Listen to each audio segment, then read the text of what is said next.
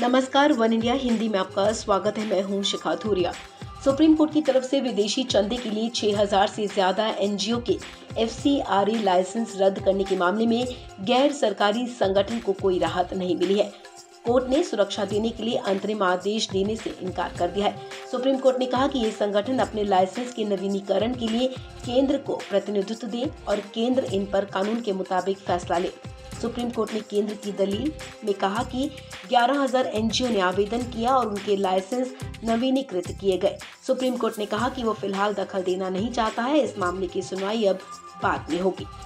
Court ने कहा कि सरकार का कहना है कि आवेदन करने वालों के लिए पहले ही बढ़ा दिया गया है। 6000 एनजीओ है जिनका विस्तार नहीं किया गया है।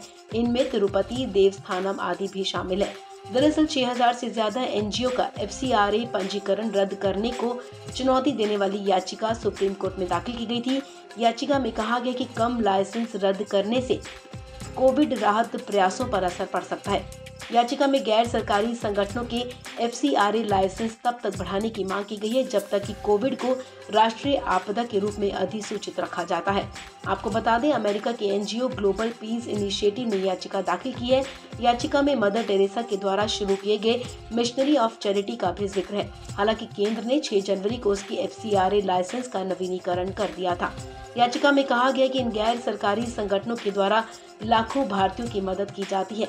इन हज़ारों गैर सरकारी संगठनों के एफसीआरए पंजीकरण को अचानक और मनमाने ढंग से रद्द करना, संगठनों, उनके कार्यकर्ताओं के साथ साथ उन भारतीयों के अधिकारों का भी उल्लंघन है, जिनकी वो सेवा करते हैं। विशेष रूप से ऐसे समय में प्रासंगिक है जब देश कोविड 19 की तीसरी लहर का सामना कर रहा है। आपको बता दें, इस समय करीब 6000 गैर सरकारी संगठनों के लाइसेंस रद्द करने से राहत प्रयासों में बाधा आ सकती है और जरूरतमंद नागरिकों को सहायता से वंचित किया जाएगा। महामारी से निपटने में मदद करने में गैर सरकारी संगठनों की भूमिका को केंद्र सरकार, नीति आयोग और खुद प्रधानमंत्री कार्यालय ने भी स्वीकार किया है। इस खबर में फ़िलहाल इतना ही। तमाम अपडेट्स के लिए आप बने रहें वन इंडिया हिंदी के साथ।